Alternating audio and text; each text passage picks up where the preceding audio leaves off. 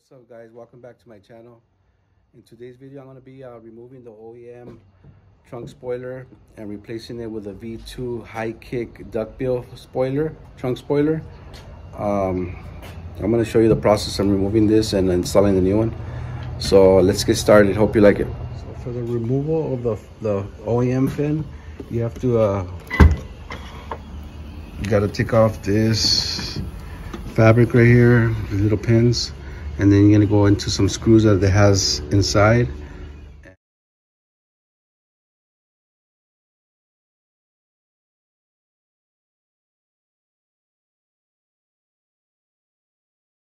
Okay, for removing the, the fin, you're gonna see that one screw right there. I mean, it's a nut. And then it's gonna have all these little pins right here. Just holding it here. So at the end, it's gonna have some some nuts right there. That nut right there, it's an eight millimeter, and then the one on the other side.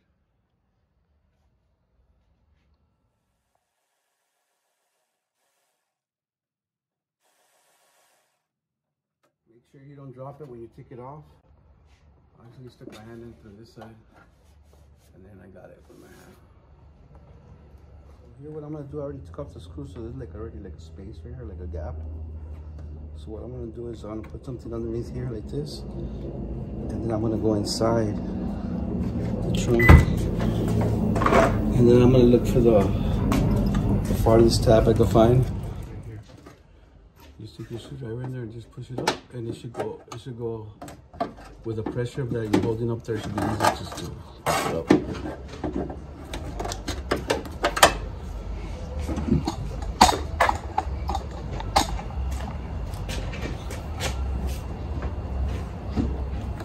Get the other side. Maybe like one side and the other side. There it is. That's already. So then after once you got one out, that's it. It's easy. I just keep sticking the the little plastic pry tool right there, and then I just keep moving across on the inside. I'll the next one.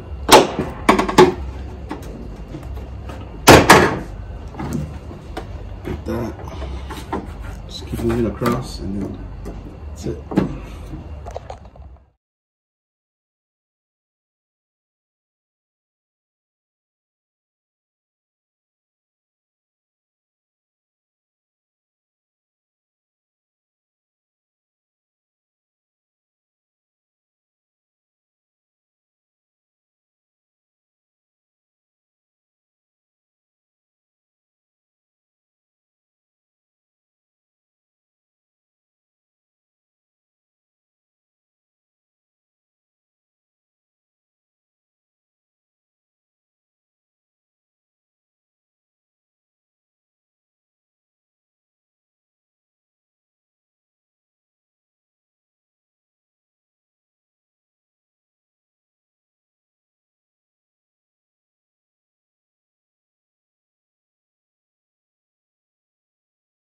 This um little plastic that holds it in is different than the other ones. This is like looks like a sort of like some kind of double-sided tape. The other ones that I've seen before on the 18 and the and the 19, I seen that it looks like it has some kind of emblem glue or some kind of glue. This one looks like a, just like a little double-sided tape, like a little cut. So there, there it is. I just have to clean it up right now. And um and then I'll get ready to install a new one. I like to save all the little pieces and the screws um, and put it away um, somewhere where you won't lose it. First, I put double-sided tape in the bottom of the holes. You guys could use um, tape or anything. And then, um, so when you cover it on the top of the silicone, it doesn't go through. Put like a little drop. Anyways, you don't have to let it dry either because you can put the thing on top of it so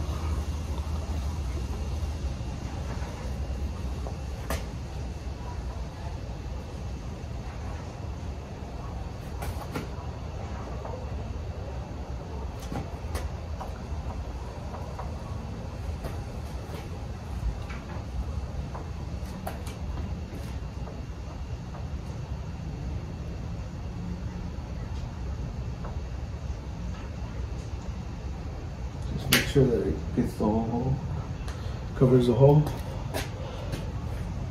On the on this one's on the sides, I was not able to put the double-sided tape on the on the end, so to make sure you get enough to cover the hole. But that's this is optional.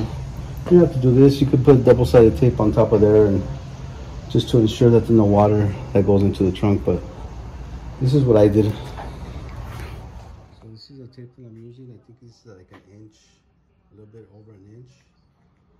Actually, had this tape laying around, so this is the way I taped it. I just taped it like that. Because on this one, I'm thinking I'm gonna put some screws on it underneath, on the existing holes that it has. Um, so that way it won't get stolen. All right, so I'm gonna be, I'm ready to install it already. Once you put the silicone, just leave it alone. Don't try to play with it because um, it's gonna get messy. So just once, just put a little spot like that. And once you place the the spoiler on top of it, it's gonna flatten out and should be fine.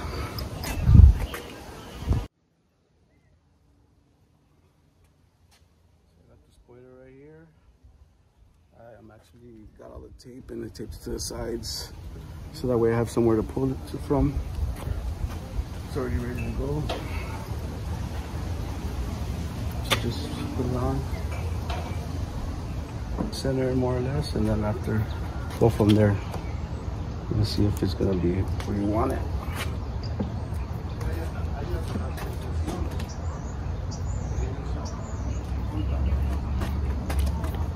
That looks perfect right there.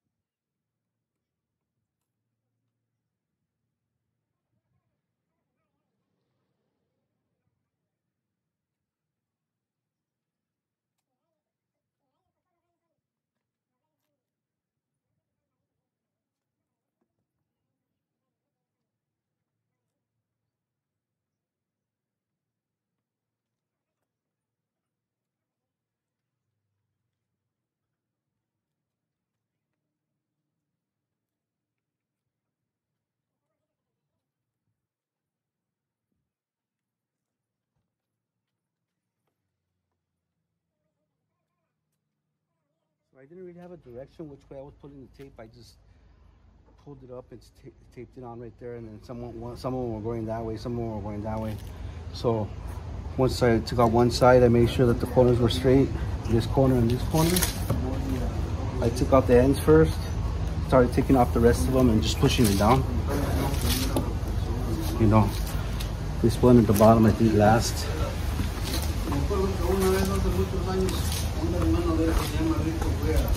So what I'm thinking right now, I'm gonna go underneath in the bottom, get some small little screws, and then at least try to put screws right here, so that way it doesn't um, get stolen. Because actually, I paid for this to get painted, so I got this one in white, and I gotta paint it to the color of the car. So I couldn't find it not not painting, so I got a white color because it could be a lighter color instead of black.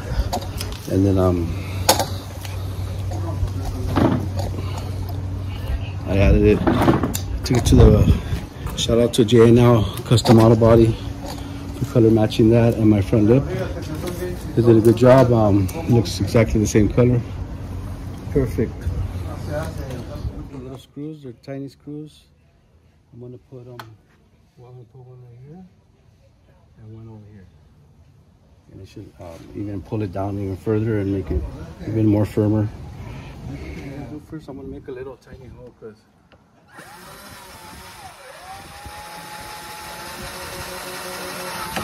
little tiny hole there, tiny hole over here.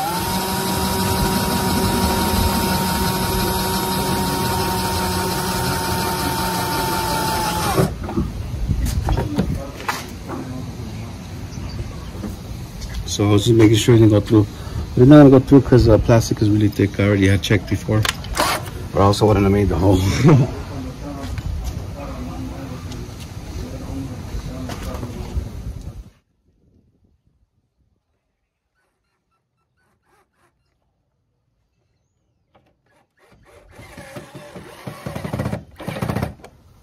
like so one right there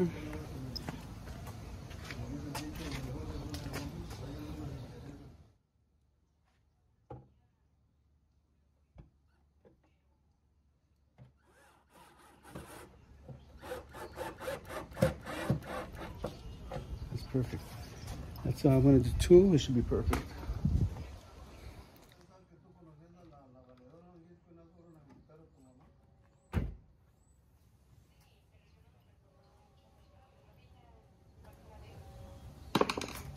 Done. So now all you have to do is uh, put everything back together and uh, you're done. All right, thanks for watching. Subscribe, like, and share.